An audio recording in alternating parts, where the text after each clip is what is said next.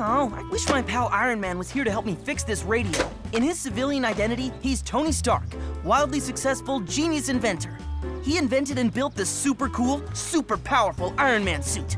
But brains are his most super ability. He even invented high-speed, high-tech garbage trucks to help the city. They were non-polluting, sorted recycling, and looked amazing. As he'd be the first to tell you. Iron Man may not be the most humble guy, but he's super strong. But even he's not invincible.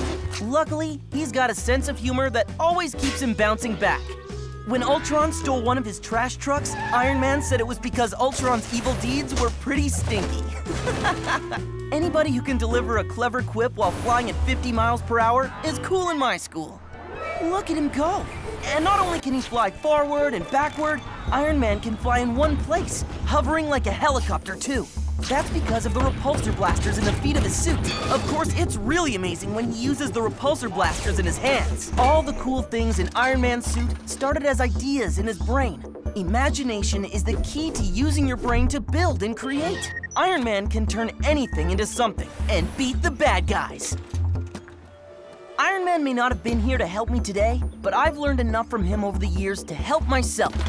Ta-da! One radio scanner fixed. Now to stop some crimes.